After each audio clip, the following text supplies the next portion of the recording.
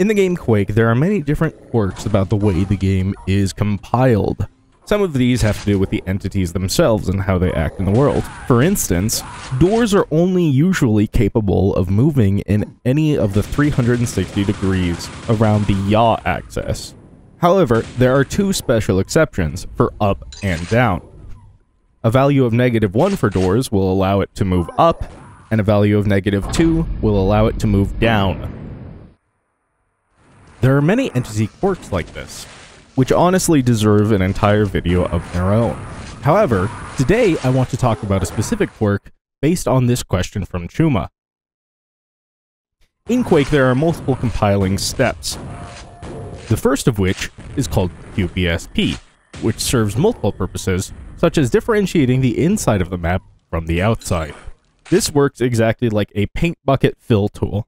If you're familiar with a paint bucket fill tool in a 2D application, you'll know that it fills all of a certain area with a certain color. Let's imagine a room in a 2D scenario. Let's say we have four brushes, one here, one here, one here, and one here. The first step of compiling differentiates the inside from the outside using filling, choosing a point inside of the map and filling from it. The way it does this is by using something similar to a paint bucket tool. It quote unquote fills the inside of the map, and anything that's attached to the inside of the map, it saves. Anything that isn't attached to the inside of the map is culled. This is also the step where the compiler determines if there's a leak. The end result is that your back faces and all of the outer parts of brushes are completely gone. You'll notice that if you no-clip around maps inside of Quake, you don't see the outside surfaces usually. Now, how does it actually do this filling step? How does it know what to check for in terms of what is inside and what is outside? Now, this is actually done by using entities. Entities themselves are separated into two types, point entities and brush entities. Things like doors, platforms, func walls, and func illusionaries, those are all brush entities, and do not count towards the filling of a map. For this reason, you can put doors, platforms, and other brush entities just out in the void, and nothing will go wrong. Instead, only point entities are used. Point entities are different from brush entities in that, while some may have a bounding box and model attached, they are actually defined by a single point, and instead, the clipped hull sizes of the map determine where it actually sits in that space. This is a little more technical than I really know how to explain, but if you would like to learn more about the different hole sizes in Quake, feel free to watch this video by Matt's Ramblings it does a very good job of explaining certain parts of the BSP compiling step. Now, the issue I would like to talk about is when you have an area that doesn't have a point entity inside of it. So, for instance, here we have two point entities. We have the info player start and the ambient drone. Both of them only have a single point that they actually occupy and you can find that by going into the Entity tab and looking for the origin key value. Lights are also point entities, and as such, they also help towards this filling procedure. Conversely, entities like func walls do not have an origin associated with them, and as such, aren't subject to this filling procedure. However, for instance, if we were to have an entirely separate room with nothing inside of it that room would be completely culled. You can see here, I'm looking around the outside of our map, and we do not see any separate room. Now, something interesting happens if I place an info teleport destination inside of this room. So, let's go ahead and make a teleporter so that we can get in there. Here I've made my brush teleporter, and now we're going to add a trigger. Make it a trigger teleport. And target our entity, our info teleport destination. So this should work. Let's go ahead and compile the map and see what happens.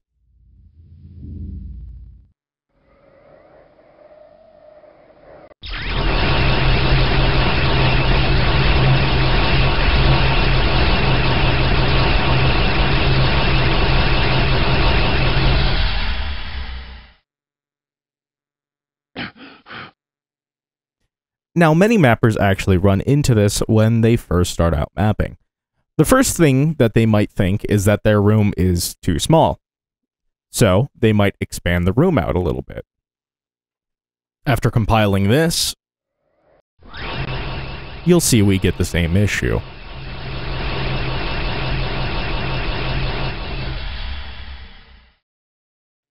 In fact, not only is everything not there, our room isn't even rendered in game. What's going on? I thought we had a point entity in our room.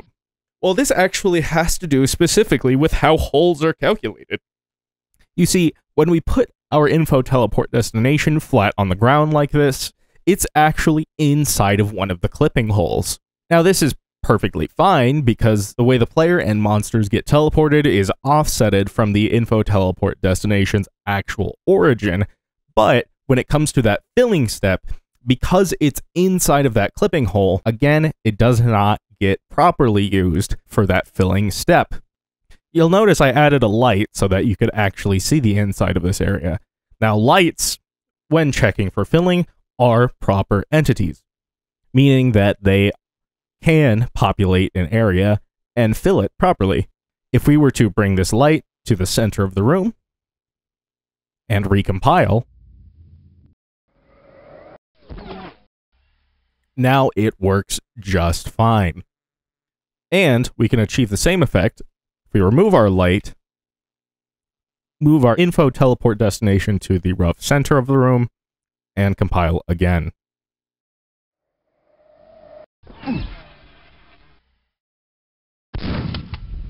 Notice the room is completely dark, but if I open the console and type r underscore Fullbright 1, we can actually see the inside of the room. We can also traverse it, and there aren't any clipping issues. One particular area where this becomes especially annoying is when dealing with instant teleports. Some mods, like Arcane Dimensions and Alkaline, add functionality to the teleport known as an instant teleport.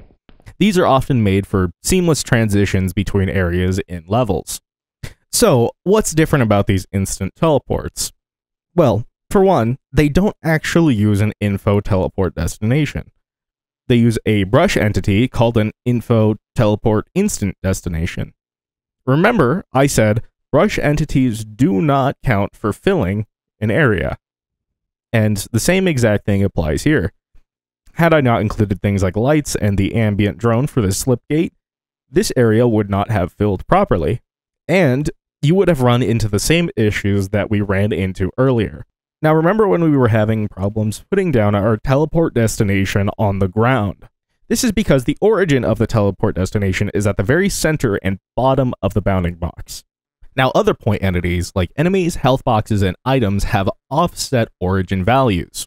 Their origin is not exactly at the center bottom point that they are, Instead, they're usually more at the direct center where the visual model is in the editor. Because of that, if we were to make a completely separate room and put something like a quad damage in it, the room would be filled and would be walkable. Now, this only works for some items. Specific items like health packs or ammo packs will often not fill things by themselves. However, you can see why things are like this.